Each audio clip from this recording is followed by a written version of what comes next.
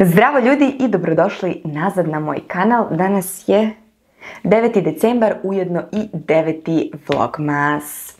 Danas će biti nešto malo drugačije u odnosu na prethodne dane. Danas odgovaramo na pitanja sa Instagrama i to će biti tema današnjeg videa. Mislim da je falilo nešto malo da se desi, da ne bude opet svakodnevni život. Tako da od sutra nastavljamo sa uh, nekim drugim sadržajem, sutra ću snimati neke recepte i tako dalje. Uh, e sada, ja planiram da snimim uh, drugi deo Q&A, to jest pitanja i odgovora, tako da smišljajte pitanja i postavite dole u komentaru i ja ću u sledećem, u nekom od sledećih videa da odgovaram na komentare sa YouTube-a. Sada, naravno, ovdje ima milion pitanja. Ja sam izdvojila uh, par nekih pitanja, eto, uh, što smatram da će možda biti i korisno i interesantno svima vama. Tako da uh, počnemo od prvog pitanja. Da nemaš muža i dete, kako bi izgledao tvoj život u ovim godinama? Čime bi se bavila i tako dalje? Moram da vam kažem da sam ja možda primer zakona privlačenja. Um, zato što zaista sve negde što sam kao mala zamišljala, sve mi se negde ostvarilo, uh, bez da sam to toliko potencirala i uh, da mi je to stvaralo neku vrstu pritiska. Zaista sam sve onako išla postepeno i spontano i eto, ostvarila mi se zaista svaka moguća želja od ovih, ajde da kažemo, bitnih, um, bitnih želja. Ove ostale sitnice ću zanemariti, ali uh, ono što sam zaista najviše želela se zaista ostvarilo. A kako bi izgledao moj život da nije ovakav? Pa ne znam, ne, ne mogu da vam dam odgovor na to pitanje jer da je trebalo da bude drugačije, bilo bi drugačije. Ali ko zna, možda bih otišla na fakultet ili ne znam, ali očigledno čim se ovako desilo, tako je i moralo da se desi. Dalje, zanima me koji protein piješ dok dojiš. Ja od prvog dana kada sam se e, vratila iz porodilišta krenula sam da pijem veganski protein. Uh, u pitanju je PHD slana karamela. E, da li misliš da bi, da bi vam bilo teže sa bebom da oboje radite posao od 9 do 5? E, dobro, u svakom slučaju prvih godinu dana e, žena ima, ide na ovaj, porodiljsko bolovanje, tako da svakako ne bih radila i da jesam zaposlena u nekoj drugoj firmi. Um, ali što se tiče Save, apsolutno da, mislim da bi bilo dosta teže i ja zaista onako moram da uh, da kažem svaka čast svakoj ženi koja sama izdržava ovo sve i ono naklon do poda. Um, nije lako, uh, zaista nije lako, u smislu izazovno je. Ne mogu da kažem da nije lepo, daleko od toga, uh, prosto beba je najveći blagoslov koji možete imati, ali um, biti sam u tome jeste zaista izazovno. Um, e sada, Sava radi od kuće i kada radimo, radimo i zajedno. Ja isto radim trenutno.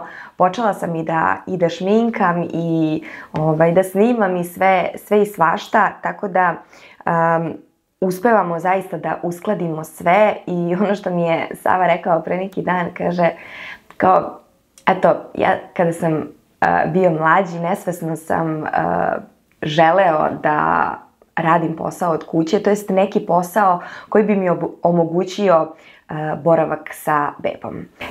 To mi je baš pričao da mu je uh, zaista bilo bitno da ne moramo da imamo ni toliko novca sada, nego nam je najbitnije da budemo svi zajedno i da dete raste uz majku i oca podjednako. Ali eto, zaista mislim da jeste teško da žena izađe sama na kraj, pogotovo sa više dece. Ali dobro, na kraju dana kada vidite, kada ih smestite onako u krevet i kada vidite da onako spavaju spokojno, pošaljete poljubac Bogu i kažete neko mašta o ovome, a ja to imam. Dobro. Da li ste ti i Sava imali neku veću svađu ili da ne pričate par dana? E, vidjela sam da dosta ovakvih pitanja ima, tako da bih voljela da malo proširim ovu temu. Ja zaista ne bih mogla da spavam noću, da ja sada lažem toliku, toliki broj ljudi. To jest, lagala bih samu sebe da predstavljam nešto što zaista nije tako. Ja ne bih mogla da vama kažem da se snimam kako je sve super, kako se mi ljubimo, e, kako se grlimo, a da ne pričamo ili da imamo neki drugačiji odnos, zaista ne bih mogla da spavam sa svojim mislima, e, tako da zaista jeste sve tako kako, kako deluje, ali to nije tako prirodno. Mi smo zaista radili na, na odnosu svesno, radimo svakodnevno na, na našem odnosu i ono što je jako bitno, što bih mogla eto da vam kažem, jeste da je možda najbitnija ta komunikacija. E, naravno da nekad nešto zaškripi u smislu, ne znam, prosto nam nije dan. Danas i sutra mi nije dan i eto, nemam potrebu ni želju ni da se ljubim, ni da se grlim, ništa, nego sednemo eto zajedno i popričamo o tome. Ako postoji neki problem, uvek ga rešimo pričom pre nego što postane veliki problem uh, i tako, eto, prosto nema svađe. Jedina svađa nam je bila, ljudi moji, kada smo mi krenuli ovaj, uh, da se zabavljamo, tada smo se jednom posvađali, da nismo pričali par sati i to je to. Ali kao što rekoh, e, ne može samo jedna osoba u vezi da radi na sebi, a druga da ne radi. Morate zajedno biti svesni i imati e, iste ciljeve. Tako da ako hoćete da e, posvetim jednu, jedan video samo ovoj temi, pišite mi dole u komentaru pa bismo mogli Sava i ja da pričamo malo, na, malo više vezano za ovu temu veza, brak, roditeljstvo i sve to. Da li imaš poverenja da Savu ostaviš, da Doroteu ostaviš sa Savom? Da Savu ostaviš sa Doroteom. Ovaj, apsolutno, apsolutno, zato što ja vidim kako se on ponaša sa njom, koliko se trudi, da nije ono u fazonu, ajde, sedi u Baby Bjornu i Blay, nego se zaista ovaj, trudi da radi sa njom i posvećen je maksimalno. Tako da, eto, ja sam zaista zahvalna na, na svojoj porodici i hvala Bogu što imam takvog muža i takvo dete, jako sam zahvalna. E, bilo bi super da snimiš poseban video o porođaju i prve dane sa bebom. E, ja sam toliko puta na Instagramu pričala o ovoj temi da mislim da sam smorila e, i ptice na grani, ali ako želite detaljniji video o trudnoći, porođaju i perioda nakon uh, porođaja, pišite mi to u komentaru pa ćemo posvetiti neki naredni video i tome. Um, ali mi obavezno uh, napišite šta vas konkretno zanima, inače bi video trajao, inače bi video trajao dva dana. Da li ste krenuli sa kašicama i kako Dorotea podnosi promene sredine na putovanjima? Nismo još uvek krenuli sa kašicama. E, planiramo da to e, krenemo kada se vratimo iz Švedske. Tada će Dorotea imati tačno e, šest meseci.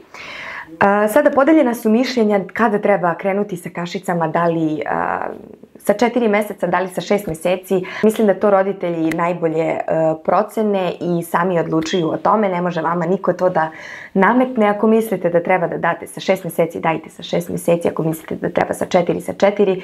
Ovaj, ali ono što generalno jeste preporuka pedijatara, Uh, jeste da se krene sa šest meseci jer je tada beba uh, 100% spremna na čvrstu hranu um, to jest tu nemlečnu hranu i, um, i taman do tog šestog meseca će digestivni sistem da sazri, tako da ne bi trebalo da bude problema i ono što je bitno jeste da beba drži um, uh, fiksirano pravo glavu, da može lepo da sedi i tako dalje, tako da smo mi odlučili da to bude sa šest meseci. Um, možda i najviše zato što dojim, i što to zaista onako lepo ide i zašto bih to smanjivala kada eto mogu punih šest mjeseci da dojim, mislim da je to prosto najzdravije trenutno za bebu, tako da eto, to smo mi odlučili i eto, snimat ćemo mi to kada, kada budemo krenuli sa tom nemlečnom hranom. Inače, uzela sam onaj priručnik uh, za, za uvođenje nemlečne hrane od uh, Nataše Nutrifit, mislim da košta 30 evra, nisam sigurna. Uh, tako da možete na njenom Instagram profilu da poručite i vi, zove se Nutrifit Nataša, tako da mislim da je to super stvar da se upoznate sa tim ako, ako već niste istraživali o tome. Cilj za 2024. E pa ljudi, mi od, od kako smo zajedno, Sava i ja, svake godine 1. januara pišemo ciljeve za tekuću godinu. tako da ćemo pisati to i ove godine. Ja sada nemam još uvek u glavi koji su to ciljevi, ali možemo to da podelimo sa, sa vama koji su to naši ciljevi za 2024. Um, mada nemam neke iskreno baš onako velike ciljeve. Um, ostvarila sam se kao majka što mi je bilo onako najbitnije. Uh, udala sam se za čoveka kog uh, volim najviše na svetu i koji mene voli. Tako da uh, imam krov nad glavom. Mislim da ne treba preterivati i da treba biti zahvalan na svemu što imamo i nismo svesni koliko smo zapravo srećni što smo eto se probudili jutros, što smo imali topao dom da spavamo u toplom krevetu, što smo imali hranu na stolu jer mnoga deca, mnogi ljudi na ovom svetu to nemaju, tako da mislim da treba malo da se posvetimo toj zahvalnosti. Ali naravno da život nije život bez ciljeva, tako da sigurno imamo neke ciljeve, samo eto ja ne mogu sada trenutno da se setim, ali eto, napisat ćemo to 1. januara. Kuvanje ili raspremanje kuće. Definitivno kuvanje. Mrzim čišćenje. radim to zaista samo kada moram i nisam neko ko čisti konstantno za sobom, iskreno da kažem. Ovaj, tako da kuvanje zaista volim, ali da raspremam a, bilo šta. E, dobro, to je isto pitanje. E, plašim se odgajanja deteta u ovom nudom svetu u kom živimo. Šta ti misliš o tome? Moram da se složim sa tobom i da kažem da sam ja razmišljala o tome i baš smo pričali Sava i ja pre nego što sam zatrudnela koliko je izazovno danas odgajati dete uh, da izraste u pravog čoveka sa normalnim vrednostima i tako dalje. Ali možda ono što je najbitnije jeste uh, model. Kakav, kako se vi ponašate prema svom partneru, tako će se i vaše dete ponašati prema svom partneru. Mislim da smo mi roditelji modeli deci i da je to najbolja vrsta vaspitanja. Džabe, ja kažem tebi, ej, idi sredi sobu kada je moj krevet u katastrofalnom stanju i tako eto, to je neki banalan primer, ali znate šta hoću da kažem. Šta nas novo očekuje od tvog brenda i kada? rekla sam već, spremam lip kolekciju, Spremam kolekciju um, gdje će se naći peeling za usne, maska za usne, balzam za usne i ulje za usne. Ja ga sada imam na usnama, ovo ulje za usne. Ovo je naravno tester.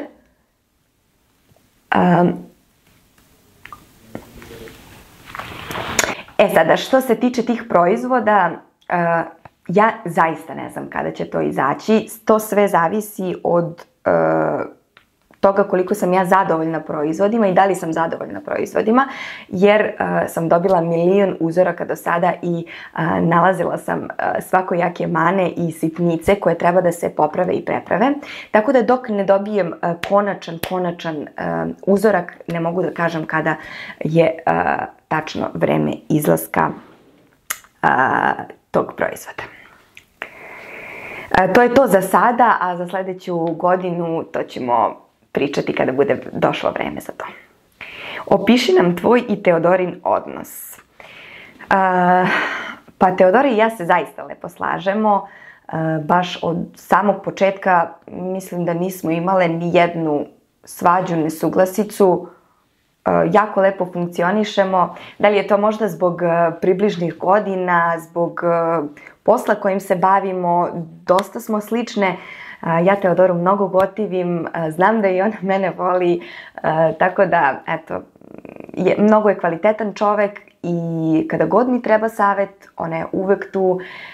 Um, dovoljna vam je činjenica da sam njoj prva javila kada sam saznala da sam trudna, tako da, eto, mnogo je volim i mnogo sam srećna što što imamo tako lep odnos jer mislim da je to Savi jako, jako bitno.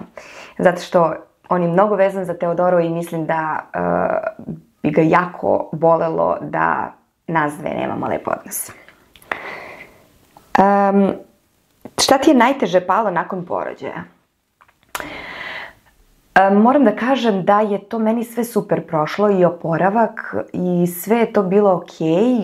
Snašli smo se super, beba je bila zaista super, bila je onako lepo natempirana, grčeve smo prošli, imala je grčeve možda dan, dva. To je sve super prošlo.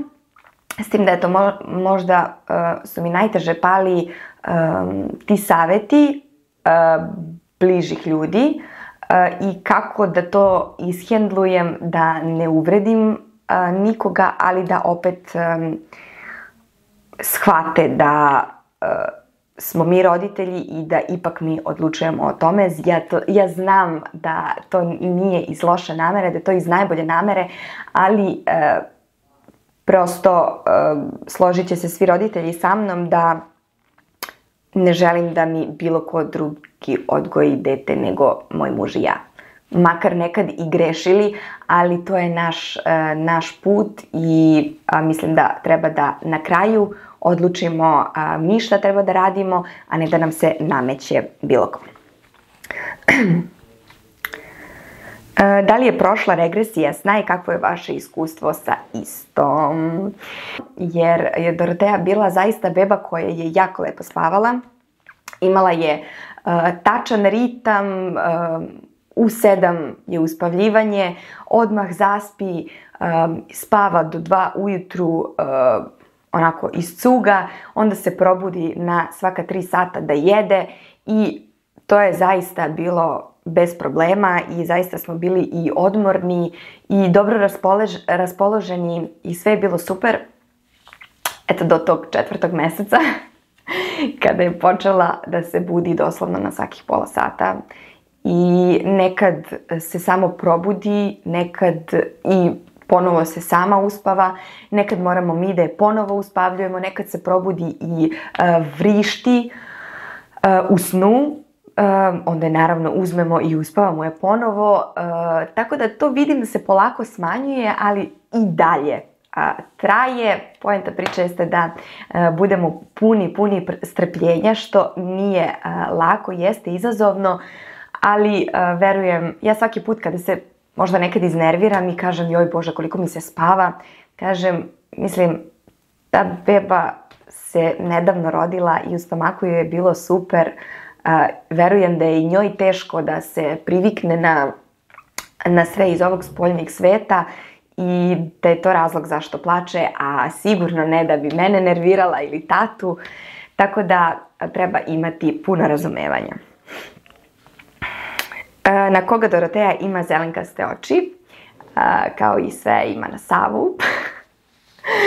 ovaj, meni je jako, jako žao što nema ništa na mene, složit će se sve mame, ono, mi smo te koje smo trudne devet mjeseci i mi proživljamo taj, proživljavamo taj porođaj i, i sve živo i onda liči skroz od glave do pete na tatu. Ali dobro, šalim se naravno. To je osoba koju ja mnogo volim i šta da kažem, naravno da mi je drago da, da liči na njega, iako bih naravno voljela da više liči na mene. E, dobro, da li daješ bebi da pije vodu ili samo mleka? Podeljena su mišljenja, pa me zanima tvoje. kao što sam i već rekla, roditelji su ti koji treba da odluče za svoju bebu. bilo je tu raznih saveta. I govorili su naravno ljudi daj vodu, daj vodu, neće ništa da se desi. I onda smo nas dvoje krenuli njoj da dajemo vodu na kašičicu i onda ok. I jedno večer smo sedeli i pitam ja samo, ajde ovako iskreno po tvom nekom nahođenju i mišljenju, da li misliš da treba da dajemo bebi vodu ili ne? Kaže on, iskreno ne, jer ako ni ja. Tako da smo prestali da dajemo bebi vodu. E, što je poenta priče jeste da e, majka priroda ne greši i da je majčino mleko apsolutno dovoljno da zadovolji sve bebine potrebe. Tako da, e, po mom mišljenju, nema potrebe ukoliko dojite, ukoliko je napolju toplo, samo češće dojite bebu, nekad može da bude samo žedna. Nekad joj je potrebna samo uteha, nije svaki put gladna, tako da ja uvek gledam da zadovoljim bebine potrebe. Ali i ako dajete bebi vodu, mislim da se apsolutno ništa neće desiti. da li planirate da imate još dece u budućnosti? Da, naravno. I posljednje pitanje, šta misliš o dojenju u javnosti? E, moje mišljenje je da je dojenje e, jedna sasvim prirodna stvar i sasvim normalna stvar i nikada neću da razumem ljude koji ovako e, blenu u, nas koje, koje dojimo u javnosti kao da su vidjeli ne znam šta. Nažalost to se ovdje seksualizuje i ljudi su ili u fazonu da gledaju ovako neprestano ili su u fazonu fuj ja neću to da gledam. Tako da uopšte ne razumem čemu ta fama, nemoj da gledaš ako ti se ne gleda.